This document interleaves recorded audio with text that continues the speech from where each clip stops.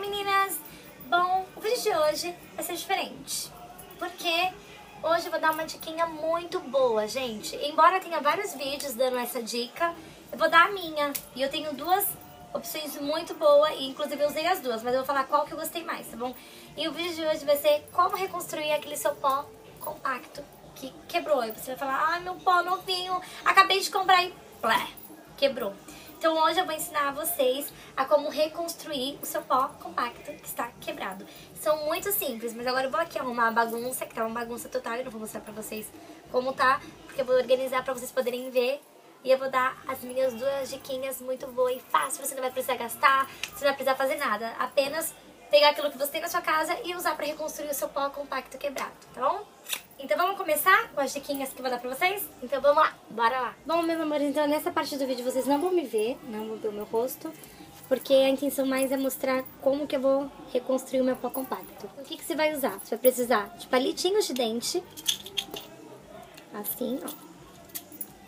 Palitinhos normais. Água, não precisa ser essa quantidade cheia de água, porque tem muita água, a gente não vai usar tudo isso, mais água.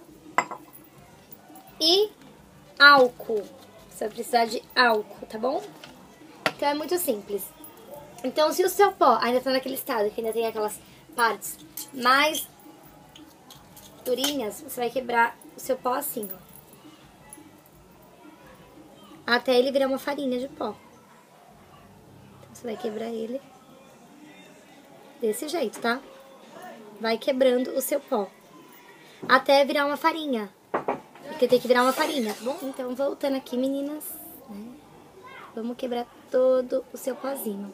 Eu vou acelerar o vídeo até os dois pó, porque um é da Vult e um é de uma marquinha que eu comprei. Aí, só pra fazer esse teste pra vocês, tá bom? Eu vou acelerar o vídeo que pra me mostrar pra vocês como vai ficar o resultado do pó, como vai ficar... Ah, peraí. Como vai ficar o resultado do pó quando ele virar uma farinha, ok?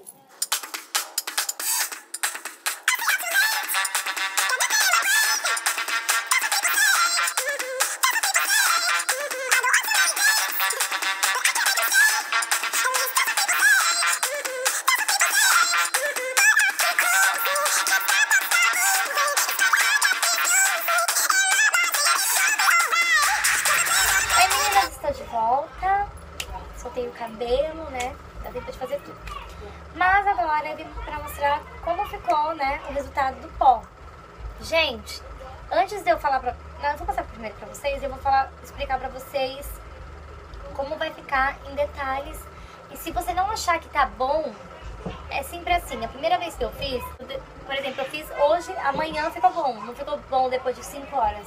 Então não se preocupe se você vê que ainda tá úmido, tá um pouquinho úmido, mas deixa assim, ó, pra tomar bastante ar aberto até secar. Mas, ó, ele ficou bem bom, ele vai ficar homogêneo mesmo, assim, ok? Então ele não fica ruim, ele fica muito bom. Então, se você achar estranho, falar, poxa, mas a Dani pegou... Gente, vocês não conseguiram ver? Então abaixo mais. Aí, ó, eu tive que improvisar. Então, se vocês falar assim, poxa, mas não ficou perfeito Ó, ele vai ficar assim, desse jeito. Então, se você vê que vai demorar, que... Olha, o que deu mais trabalho pra mim fazer foi esse. Inclusive, eu fiz e ficou muito bom agora. Eu tô vendo que ficou melhor do que esse. Então, eu coloquei um pouquinho de água. Como que você fez?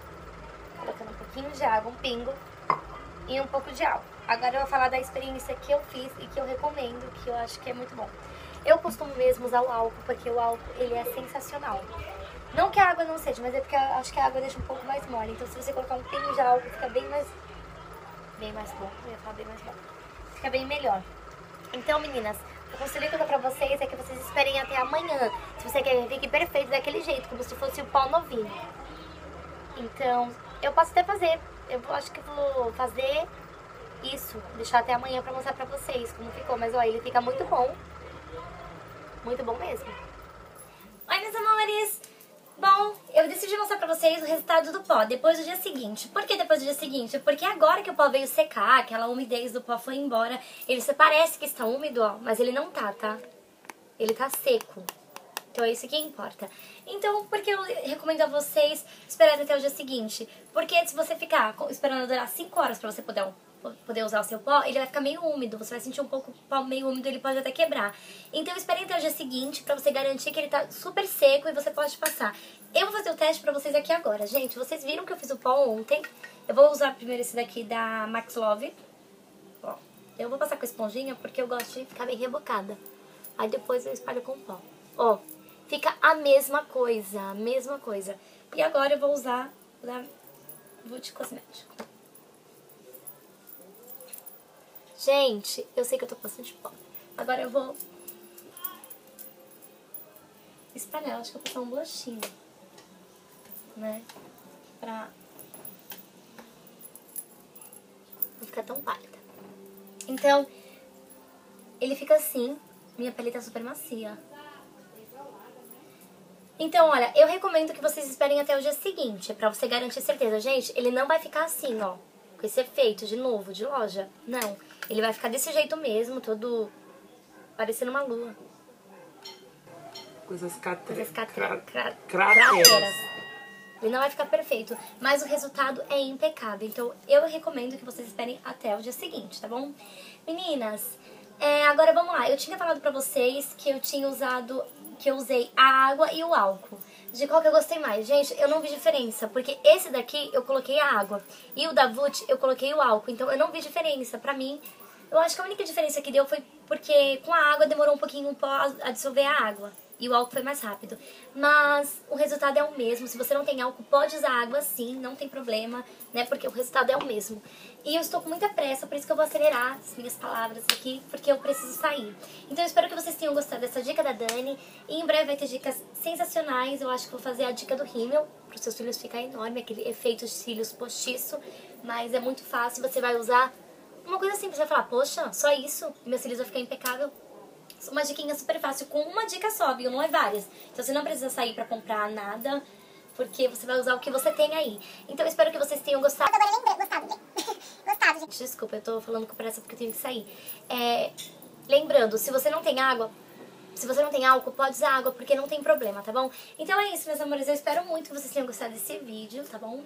E pode deixar comentários aqui, sugestões, que eu vou virar um mundo pra descobrir coisa pra vocês e pra trazer as ideias que vocês tanto querem.